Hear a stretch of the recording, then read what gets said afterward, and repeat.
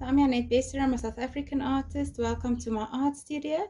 This morning we've got some beautiful morning glory heart-shaped leaves in the studio that I've picked this morning. Unfortunately, I couldn't find uh, morning glory flowers. This was the only one and it already closed up.